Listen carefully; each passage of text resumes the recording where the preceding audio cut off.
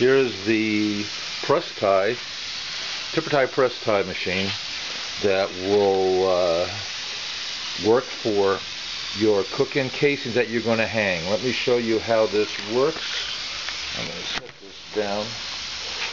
And sorry, this is not a professional shot. Your bag will go in like this. This is how your casing will go in. Just like that. Okay, this is your, uh, this will be your cooked meat casing. Uncooked meat goes in there.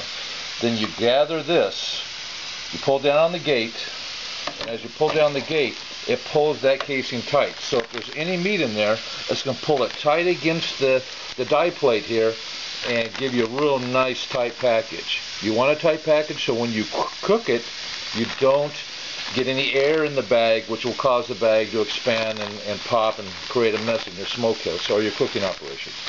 Okay, so you pull that tight. The next thing is you go up to the top with a clipper up top of the head. You have another handle here.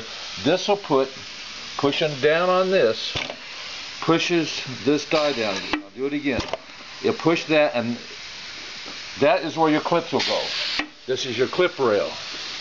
Your clips are loaded here. Uh, you get them from Tipper Tie or Circle C. Uh, Circle C.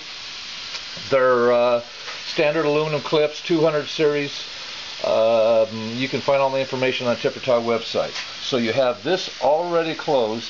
You have it clipped, nice tight casing, and then and then you've clipped it, and then you release it.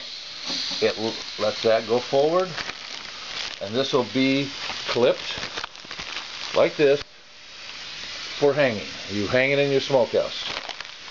Okay, this will work with if you want to add strings to uh, hanging strings for your smokehouse, or if you just want to loop your bags uh, for hanging and cooking.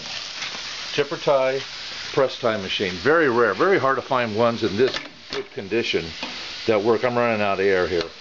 But uh, basically, it's a uh, beautiful shape. I went through the whole thing, checked it all out from top to bottom. Everything is working perfect. Everything is adjustable. This is your, this is the regulator that, that on how much air you want to pull this. Uh, you have an adjustment here for your uh, uh, what size of bag. Bigger bag, you want to have a, a more uh, more loop when you pull that in. Like I said, this is works perfect. I'm running out of air, but uh, this is this is it. Tipper tie press.